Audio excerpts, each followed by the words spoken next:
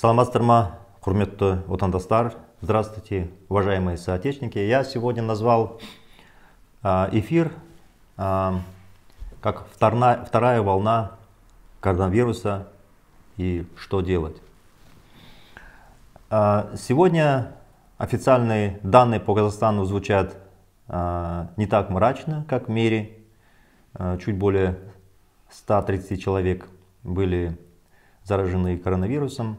Я для сравнения скажу, а, приведу примеры, например, статистики в Соединенных Штатах Америки и других странах. Ну, например, только вот за ночь а, в Америке зарегистрировано свыше 16 тысяч человек, заболевших коронавирусом.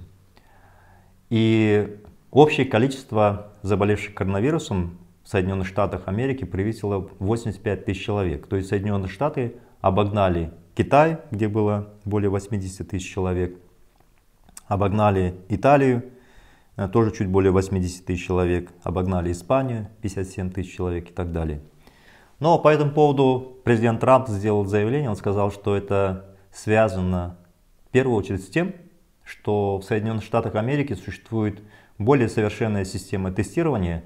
Они развернули массу лабораторий по всей стране, и поэтому американцы просто выявили больше заболевших коронавирусом. Ну и вообще, на самом деле, э, у нас есть статистика, мы понимаем, что болезнь распространяется по определенной формуле, и мы можем оперировать данными уже в сравнении, потому что американцы был период, когда очень так тоже пессимистично оценивали, что у них будет э, так развиваться болезнь. И вообще не оценивали в полной мере опасность этой болезни. Собственно, как это было везде. Было в Италии. Сейчас в Казахстане очень многие люди считают, что коронавирус это кем-то придумано, политическая болезнь и так далее. А, и, собственно, сам факт, как люди себя ведут на карантине, не только в Казахстане, а во многих странах, показывает, что какой-то период люди заблуждаются, очень легко и наивно относятся, а когда количество смертей становится значительным, когда люди в конце концов осознают, что вот оказывается это очень опасно, для многих это оказывается уже поздно, потому что они уже болеют коронавирусом, теряют близких. Собственно, э, сейчас уже очевидно, что коронавирус пришел в Казахстан давно, не в марте, как сказал главный санитарный врач, 11-16 марта, плюс-минус неделя, к нам коронавирус наконец-то придет. К нам он пришел давно. Мы соседи с Китаем, и сейчас многие уже осознают, что еще в декабре прошлого года, в январе, феврале большое количество людей просто переболело коронавирусом. А если были какие-то смерти, то их просто списывали на пневмонию или какие-то другие болезни, например, диабет и так далее. Вот, собственно, что было в реальности в Казахстане. На самом деле, очень легко сейчас говорить, а, оперировать статистическими данными, и надо понимать, что они еще не отражают глубину проблемы. Потому что каждая из этих стран, включая Соединенные Штаты Америки, Англии и так далее, они не в полной мере осознавали опасность. Ну, собственно, даже премьер-министр Англии Джонсон э, не хотел закрывать страну, тянул до последнего.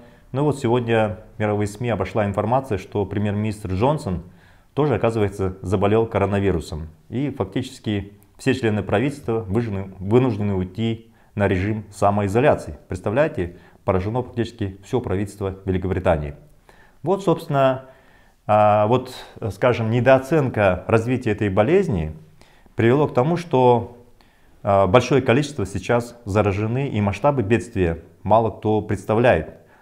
В большей степени представляет, наверное, ведущие страны мира, потому что у них развитая медицина, у них лучшая система тестирования – лучшая система вообще во всем, реагирования на те или иные события. И там, скажем, даже в этих условиях статистика, которая сейчас есть, хоть выглядит угрожающей, но на этом фоне Казахстан кажется вообще тишь да благодать. Ну давайте, ребята, мы будем по-другому считать. Если в Америке живет где-то 330 миллионов человек, а в Казахстане 18,5, мы можем грубо сказать, что мультипликатор, коэффициент 20. То есть мы можем э, любую цифру в Казахстане, ну, например, заболевших коронавирусом, или в Америке взять, разделить на 20 и сказать, что вот сколько в день должно быть а, заболевших коронавирусом. Если вот в Америке за одну ночь фактически зарегистрировано более 16 тысяч а, заболевших коронавирусом, нужно поделить его на 20, грубо, а реально еще меньше.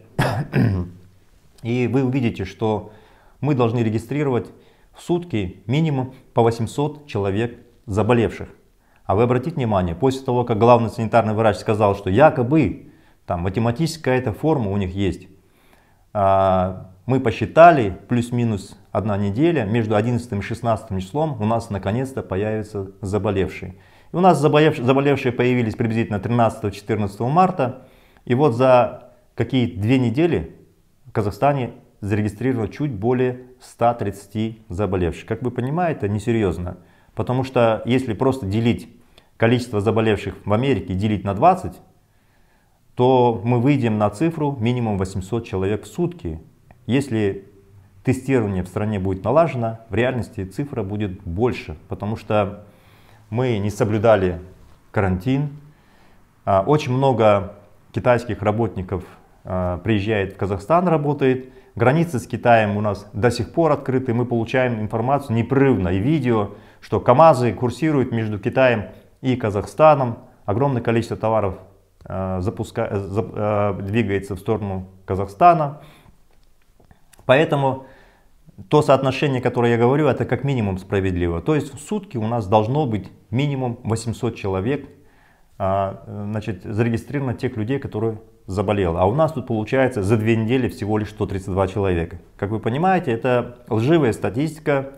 Никто реально не тестирует. Система тестирования у нас по всей стране отсутствует.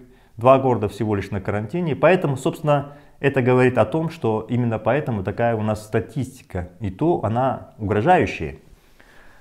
А наши представители власти заявили, что по этой математической модели, если исходить из того, какое количество сейчас зарегистрировано заболевших, приблизительно к 10 апреля в стране будет зарегистрировано порядка 17, 17 тысяч заболевших.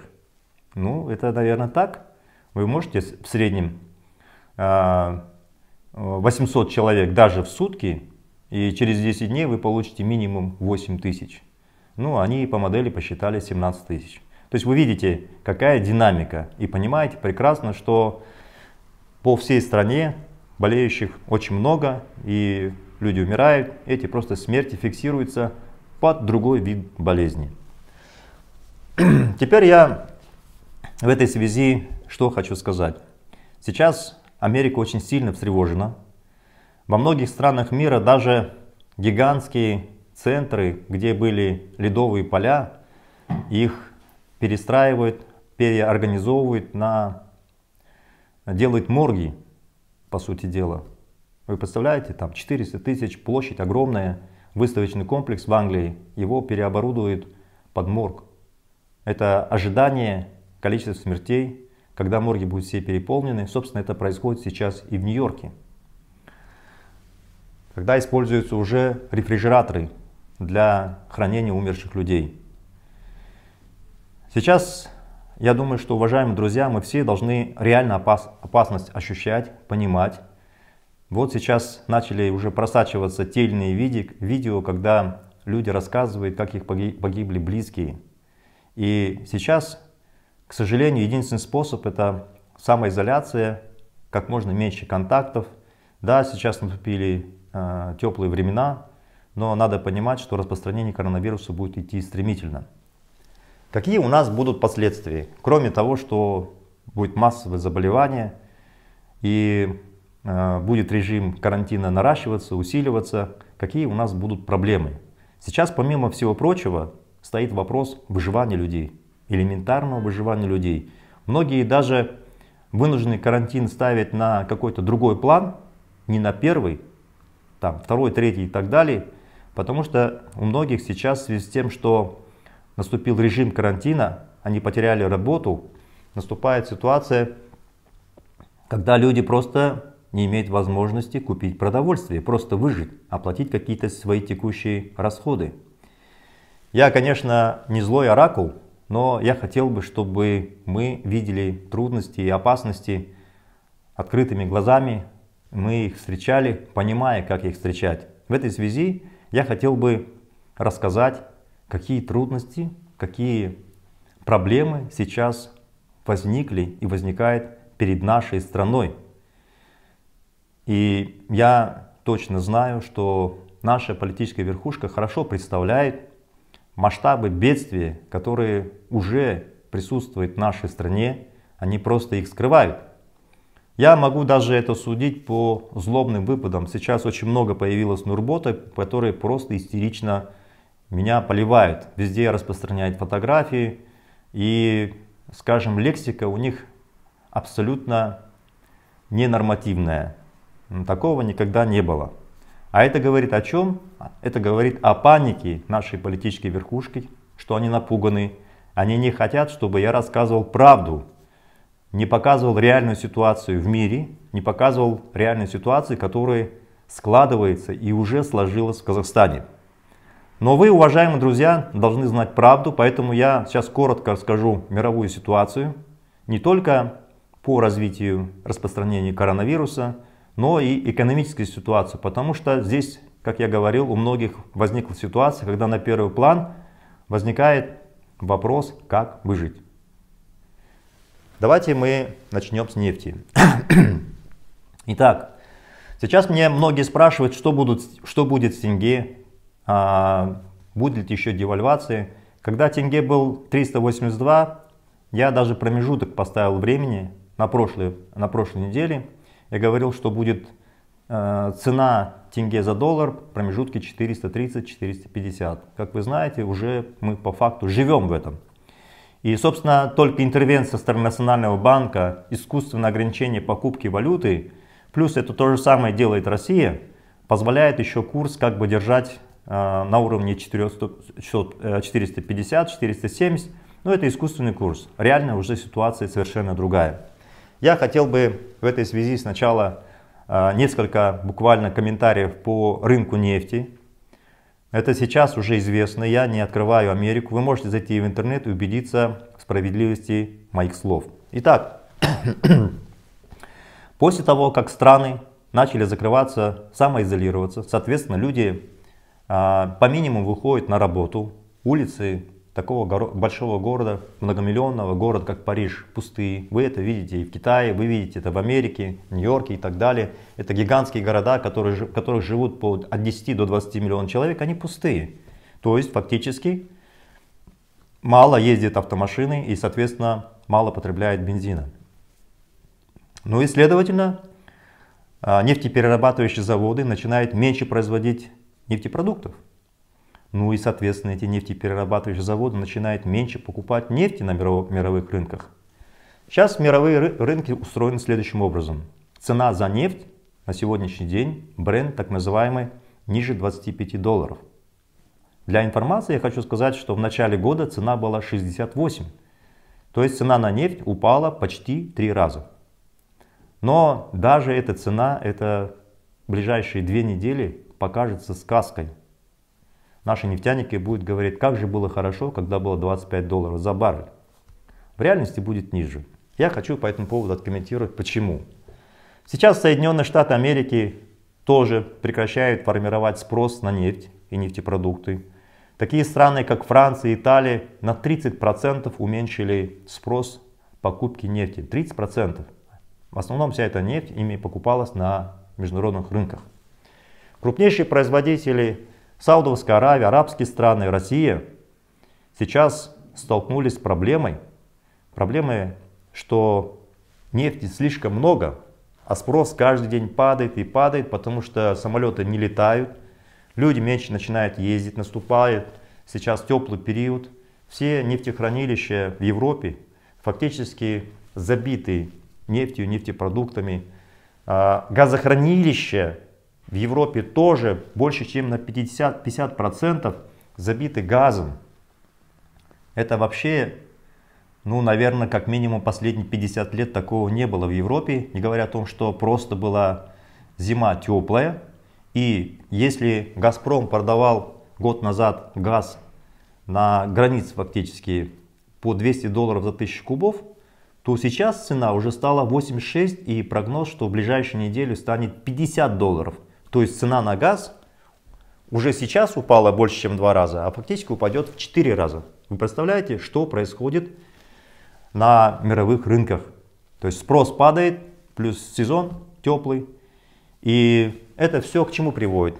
Что избыток а, нефти на мировых рынках, танкеры с миллионами тонн стоят а, на морях, в морях, в Балтийском море или Средиземном море или на мировых оке... в Мировом океане, гигантские танкеры, заполненные нефтью, они просто стоят на месте и эту нефть трудно продать, потому что спрос упал, потому что мировая экономика начала останавливаться. А крупнейшие производители нефти, они же продолжают ее качать, ее не просто так остановить. И получается переизбыток сначала выливается в эти баржи, затем цены начинают падать, потому что спроса нет.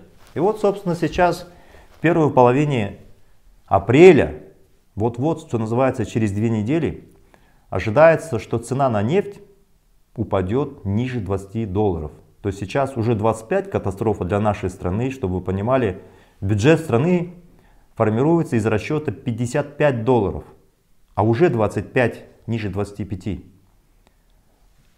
А в ближайшие две недели цена упадет еще ниже 20. И вообще есть угроза, что до конца апреля цена нефти упадет как минимум 15 долларов за баррель. Что это значит? Это значит, в нашу страну поступает меньше валюты. Это значит, что тенге будет девальвироваться. Судя по всему, если Национальный банк не будет сжигать, сжигать резервы, мы будем свидетелями, как в ближайшие две недели тенге упадет до 550 минимум. В течение апреля тенге дойдет минимум до 600 за доллар. Это вот прогноз и я думаю, что маловероятно, что будет по-другому, потому что мировая экономика замедляется. Где-то до конца апреля все ведущие страны мира будут поддерживать свой карантин. И трагедия еще заключается в том, что когда происходит карантин, люди покупают только продовольствие. Останавливается производство крупнейшей, ну, например, автогиганты, которые производят автомобили. Они все в основном ушли остановили свою работу. Значит, они не формируют спрос на металл, из которых делаются автомобили, резина, разные комплектующие. Это значит, по этой цепочке остановится или резко уменьшит объем производства сталелитейная промышленность. Те заводы разные, мелкие, которые часть комплектующих производят для этих автомашин. Это будут останавливаться нефтехимические заводы, которые производят разные изделия, Э, для производства тех же самых резиновых колес и так далее. То есть глубина проблемы по всей цепочке резко расширяется и плюс останавливаются кафе, рестораны, парикмахерские. Не имеют возможности продать товары, мебель, одежду. Масса, целый спектр потребительских товаров и за этот период будет генерироваться спрос только на продовольствие. То есть фактически Огромное количество промышленных предприятий, которые производят ту или иную продукцию, кроме продовольствия, начинает снижать объемы или вообще останавливается. Это тенденция, которая будет происходить в мире. Раз останавливается, значит предприятие будет сокращать людей, отправлять без содержания, без заработной платы. Значит у, огромных, у миллионов, у миллиардов не будет доходов, чтобы купить просто себе продовольствие. Вот сейчас вот такая к сожалению, труднейшей ситуации в мире. И еще очень важной цифрой. Я все это по-крупному говорю, чтобы вы понимали, что произойдет в нашей стране.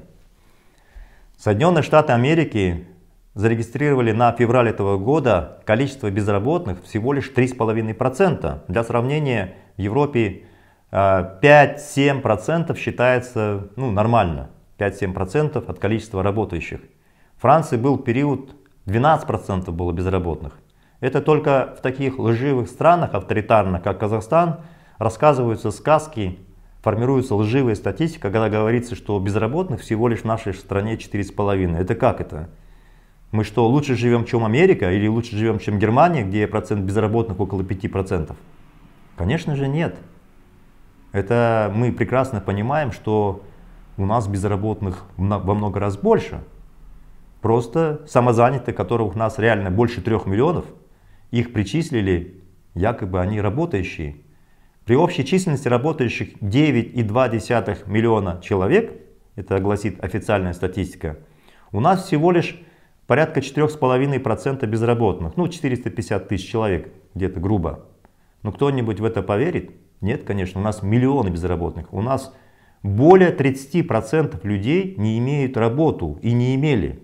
Они получали статус самозанятых. Ну, конечно, они там были водителями или еще как-то там подрабатывали.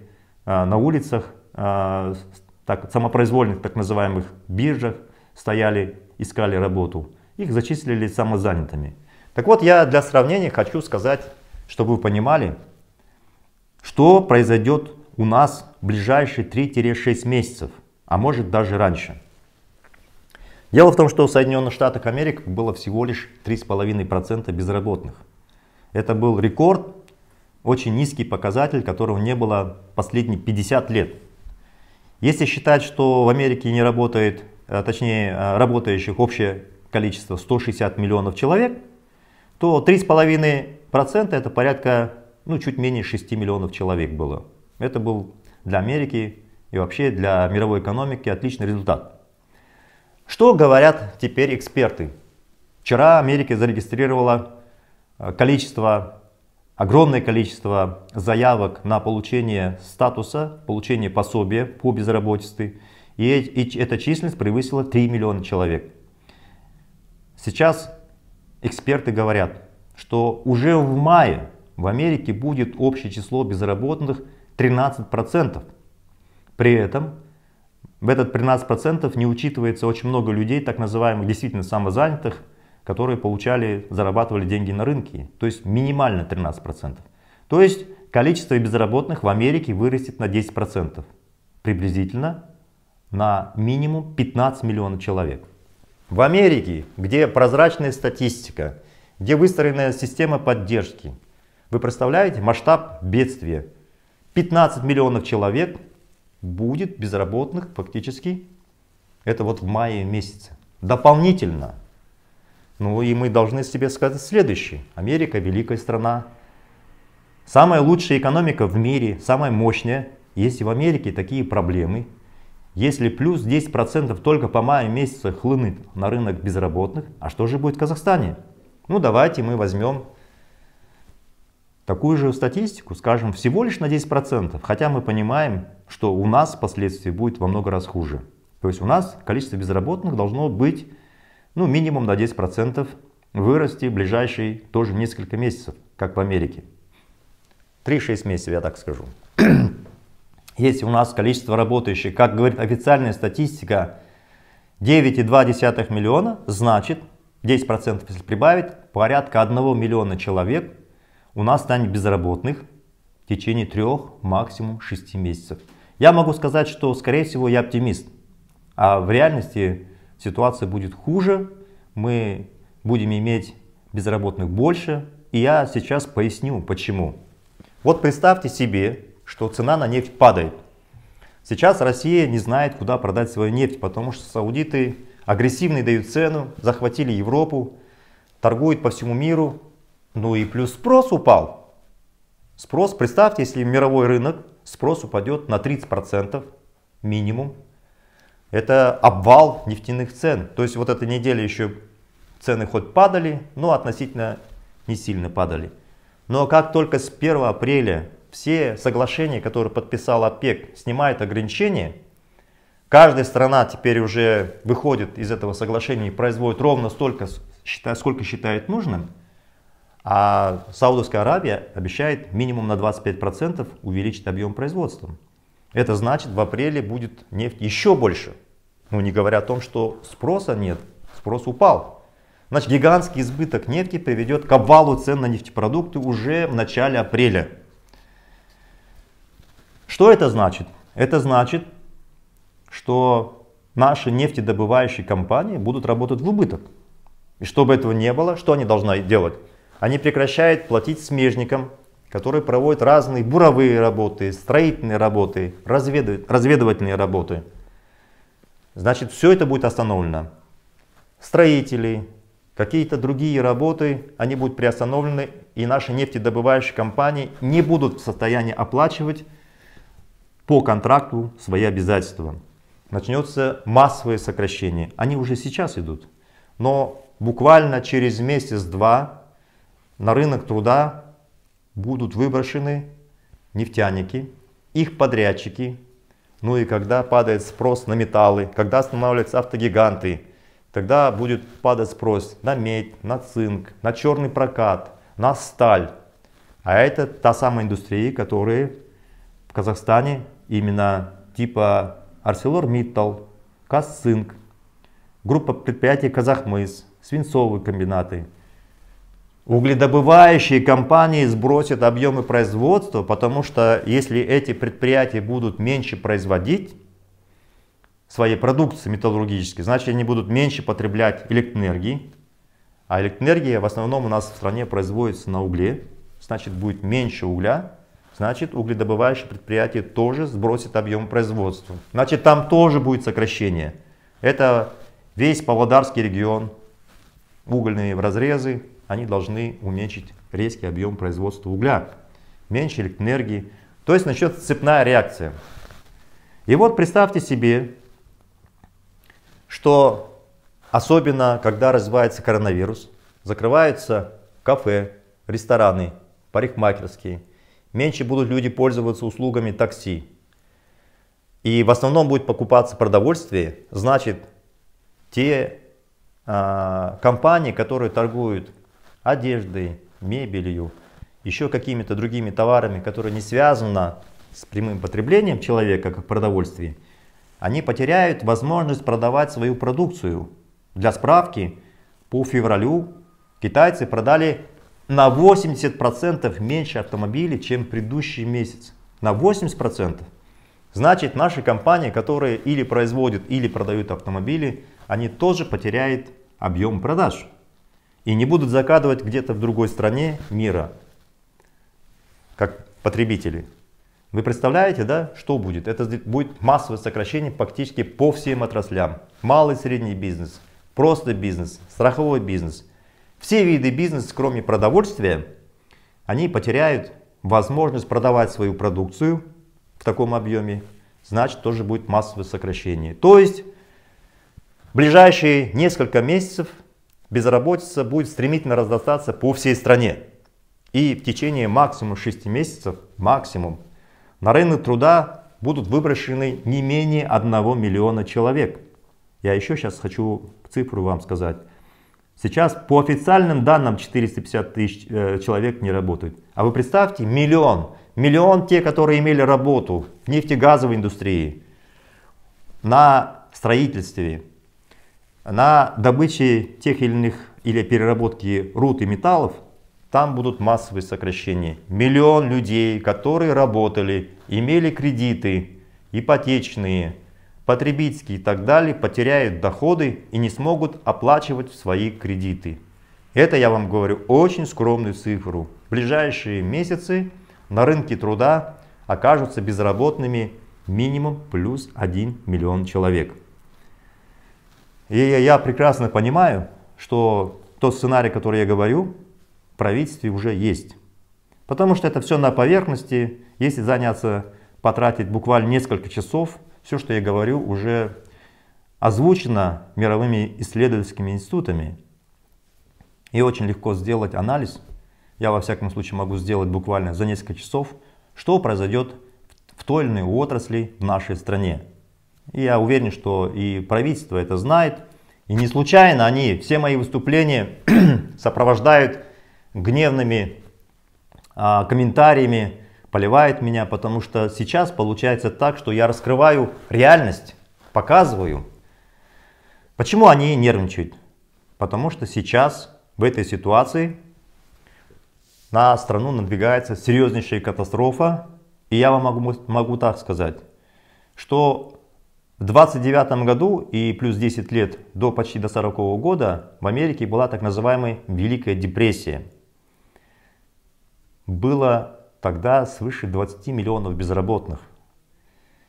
Почти половина аграрной продукции не находила сбыта. То есть это была вообще катастрофическая ситуация в Америке, называемая Великая депрессия. Она затронула тогда ряд других ведущих, другие ведущие страны.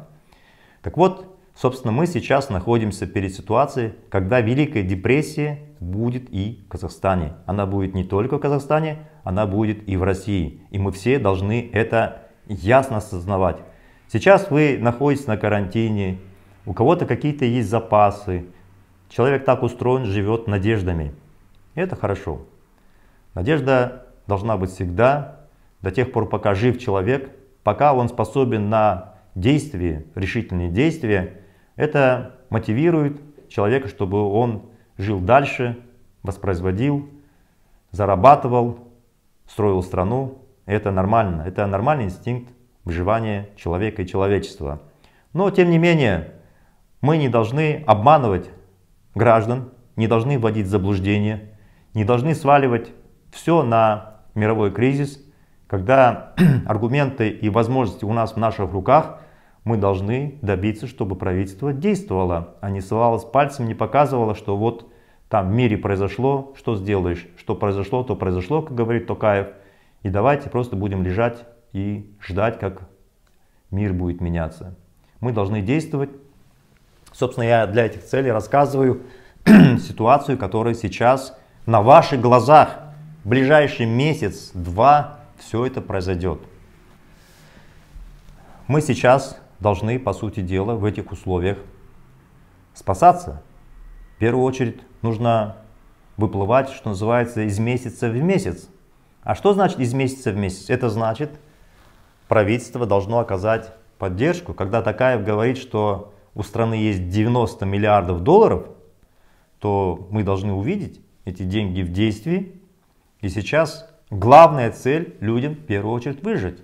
Значит, деньги должны быть выделены если Америка, богатая Америка, каждому человеку выделила по 1200 долларов раз, плюс за каждого ребенка 500 долларов два, плюс гигантский пакет многомиллиардной поддержки бизнеса, значит мы в этом своем соотношении, минимум деленный на 20, мы должны тоже это увидеть и в нашей стране. Как я говорил, что мы должны потребовать от правительства пакет инвестиций Разведение этой ситуации, чтобы наша страна могла выплыть, минимум 30 миллиардов долларов должно быть брошено на решение всех этих проблем, как борьбы против коронавируса, так и спасение рабочих мест, спасение нашего бизнеса.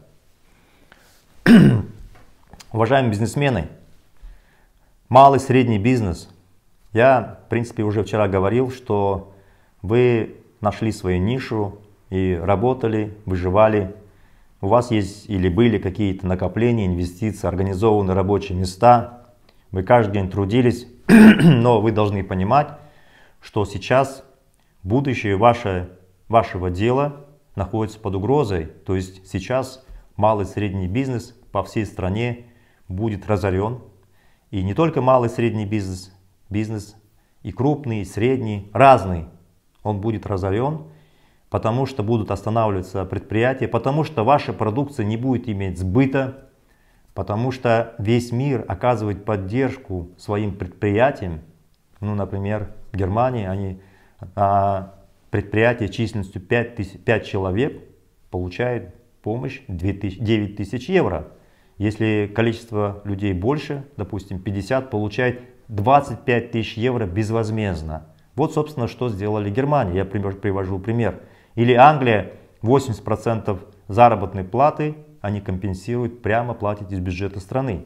А что мы слышим? Мы слышим только, что наше правительство э, какие-то налоги не будет взимать до конца года или на год. Э, якобы будут какие-то кредиты, поставки 8 годовых. Но вы прекрасно понимаете, что эти деньги до вас не дойдут или дойдут тогда, когда ваш, от вашего бизнеса фактически ничего не останется. Поэтому вопрос стоит, что в ближайшее время цены на нефть упадут. уже сейчас спрос на продукцию будет стремительно падать, и десятки тысяч людей потеряют работу. И тот пакет на сумму 10 миллиардов долларов, который озвучил Такаев, это мифический пакет. Якобы полтора миллиона человек будут иметь доступ к помощи 42 500 тенге. Но представьте, эти полтора миллиона человек должны идти в Акимат, доказывать в условиях, когда существует карантин.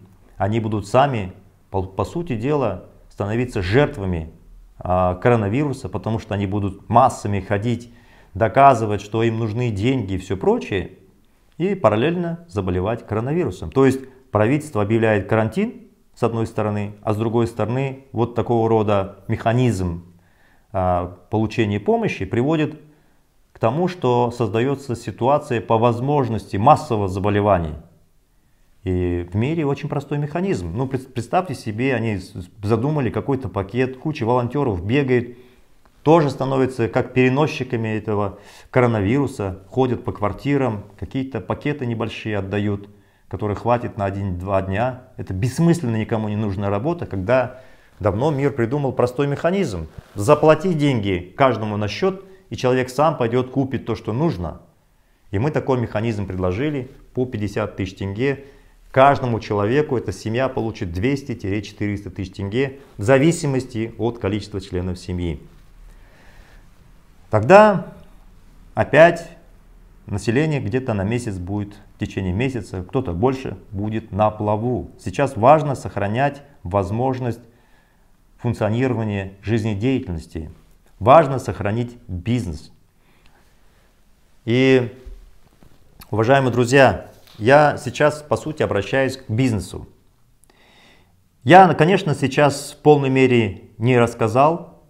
Для простого человека, наверное, многое из того, что я сказал, не очень понятно. Но если вы несколько раз послушаете, вы поймете, что это действительно такая закономерность. Выстраивается, вы походите по улицам, вы зайдете в какие-то магазины, вы придете какими-то своими деньгами, вы придете только продовольственный магазин. Вы не будете покупать ничего, кроме продовольствия, а те компании, которые торгуют той или другой продукцией, они будут сокращать людей, увольнять продавцов, закрывать свои офисы. Это все произойдет и уже происходит на ваших глазах сейчас. И если бизнес только вчера еще мог не заниматься как бы политикой, стоять в стороне и, и выживать, то, к сожалению, сегодня для бизнеса наступили тяжелые времена. Сейчас будет серия банкротств, при том всем, что правительство требует, что вы не закрывали свои рабочие места, но реальной помощи вы не получаете. Что надо делать? Конечно же требовать. Все требования, о которых я говорил, они должны остаться, их нужно озвучивать в социальных сетях, выступать, писать письма. Это все должно быть. Необходимо зайти, а, подписаться на канал 1612, на канал Мухтара Блязов.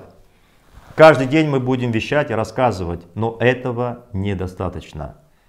Мы все время говорили, что нашему народу нужно объединяться, консолидироваться, что наступит момент, когда этот протест, когда голодные люди будут требовать от власти, они не посмотрят ни на карантин, ничего, потому что им есть нечего.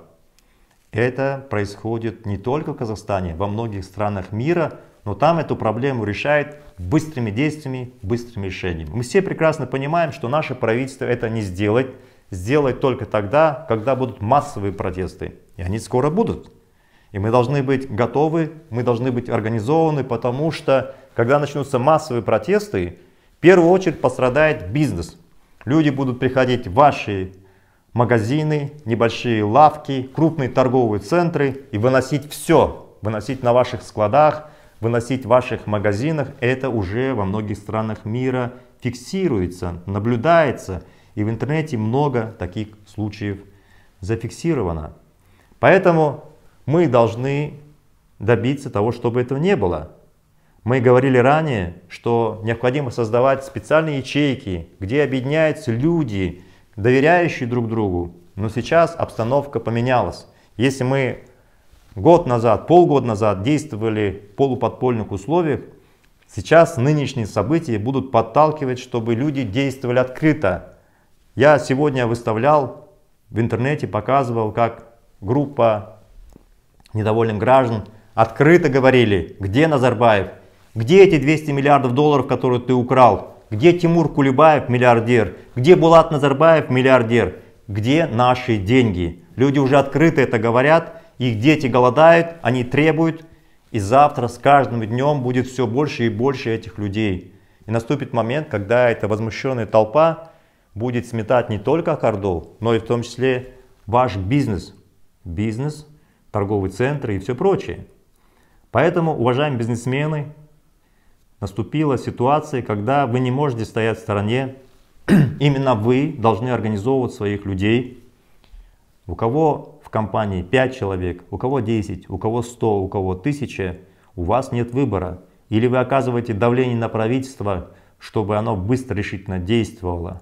Оно не будет действовать, потому что вы знаете, президент Мебель, Назарбаев пропал.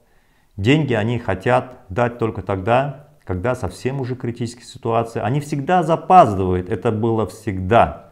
И они на кризисе всегда зарабатывали. Но сейчас совершенно другая ситуация. Им даже бежать некуда. Вообще это уникальная хорошая ситуация. Назарбаеву некуда бежать. Он не сможет улететь, не, сможет, не смогут улететь его зятья на своих самолетах, потому что страны закрылись, они их не примут. Вообще уникальная возможность с них спросить. Они когда попытаются убежать, они максимум все, что сделают, убегут в степь, ну, может быть, в Россию, максимум. Поэтому, уважаемые друзья, уважаемые бизнесмены, нам сейчас действительно нужно объединяться, бизнесу нужно задуматься. И то, что я говорю, я надеюсь, вас простимулирует взглянуть, посмотреть мировую прессу, посмотреть исследования, посмотреть на статистику. Если у вас сейчас относительно спокойная ситуация, это ничего не значит. Это значит, что ураган вы увидите, когда он появится, и он будет для вас неожиданный. Мое выступление как бы подготавливает ваше сознание, чтобы вы знали, ситуация очень опасная. И ее, эту критическую ситуацию можно смягчить, сгладить, но остановить невозможно. Миллион безработных хлынет на рынок труда в ближайшие 3-6 месяцев. В ближайший месяц тенге упадет и будет стоить 550-600 тенге за доллар. Это все произойдет в апреле. Это значит импорт будет дороже значительно. Это значит товары подорожают минимум на 50%. Это значит, что вы потеряете работу. Это значит, что у вас не будет денег. Это значит, что завтра разъяренная толпа будет сносить магазины, торговые центры и забирать себе то, что они будут люди считать принадлежит по праву. И если сейчас бизнес не мобилизуется, не усилит свои требования на правительстве как минимум, а во-вторых, бизнес не будет готов организовывать своих людей, то масса снесет в том числе и их. Поэтому я хочу озвучить следующее. Мы должны готовиться. Нет никаких шансов, уважаемые друзья, кроме как добиться смены этого политического режима, объединиться всем бизнесу в том числе, который сейчас как бы в стороне, и совместными усилиями добиться смены режима, построить нормальную страну, нормальное управление и участвовать в управлении государством, потому что когда такая сложная критическая ситуация на всех уровнях власти, в системе государственного управления, для того, чтобы участвовать грамотно в управлении железной дорогой, связи и других предприятий, нужны грамотные и талантливые бизнесмены, которые сумели с нуля построить свой бизнес. И нужен ваш вклад в развитие такой новой страны. Нам будет трудно. Без вашей помощи нам будет трудно. Но если вы сейчас не мобилизуетесь, не организуетесь, вы потеряете то последнее, которое у вас сейчас, как вы считаете, есть. Очень внимательно, пожалуйста, послушайте мое обращение, изучите то, что происходит в мире, посмотрите, как идет борьба с коронавирусом и поймите, что мы сейчас на пороге очень сложного времени, очень сложного. Такого в нашей стране не было. Мы стоим на пороге Великой депрессии. Поэтому, уважаемые друзья, смысл сегодняшнего моего выступления предостеречь, рассказать, чтобы вы понимали, что если мы не будем от правительства требовать быстрых решений, ситуация будет усложняться, все будет становиться хуже. Мы в любом случае, в любом случае выйдем из этой ситуации, выйдем и отстраним это правительство, потому что оно недееспособное. Но потери могут быть серьезными. Я на этой ноте завершаю свое выступление. Вы увидите все мои комментарии, они подтвердятся в ближайшее время или более того, они уже подтверждены различными исследованиями, теми событиями, которые происходят в мире, сокращение, падение цен на нефть, развитие коронавируса – это реальность, которую вы увидите в ближайшую неделю-два. До встречи в следующем эфире. Сау